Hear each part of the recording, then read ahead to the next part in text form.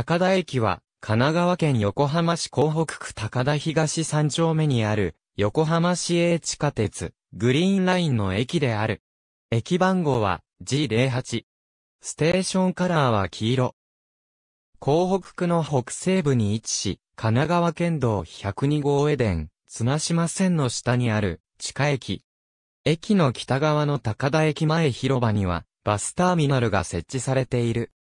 駅のデザインテーマは親しみの広場で土木と建築の融合をテーマにダイナミックな届く地下空間を体感させることを目標として設計された。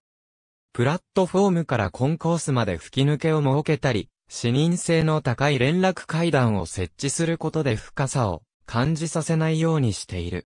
約1万年前の高田貝塚や寺八津遺跡東弥生時代の遺跡も残るが、高田の名は、港北臭い湖の文献として、900年代、和名類受賞に、吉樹郡高田里の名前が出ている。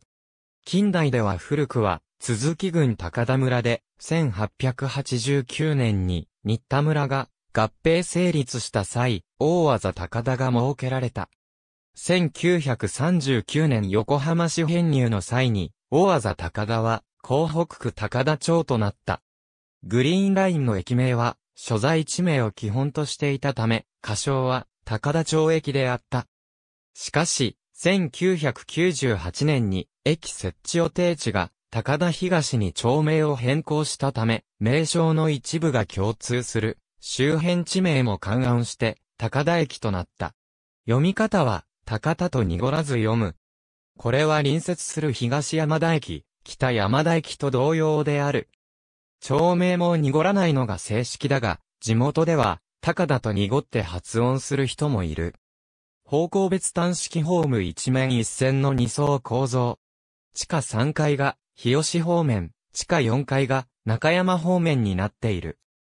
幹線道路の交差点の駅で、下水管等の既存の埋設物の影響で、用地確保に難航したため、出入り口の道上に出ており、ホームも上下に分かれ、グリーンラインで一番地下に深い駅となっている。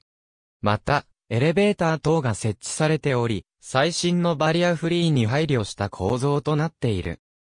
2020年度の1日平均乗降人員は12,441人である。開業以来の1日平均乗降、乗車人員の推移は、下記の通り。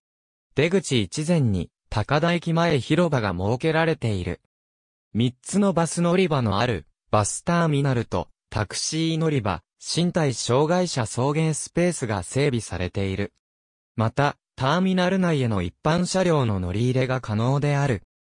出口一駅前広場の西側、区内新横浜線を挟んだ正面には、市営の駐輪場が整備されている。出口に、3は、都市計画道路日吉本、石川線に出る。駅周辺は、医療施設や商業施設が揃う、主に閑静な住宅街である。バスターミナル内には、1から3番乗り場が設置されており、東急バスの下記路線が乗り入れている。このバスターミナルの名称は、高田駅である。また、県道江電、綱島線沿いの出口2前及び出口3から、日吉より約60メートルの位置に、高田駅前バス停がある。ありがとうございます。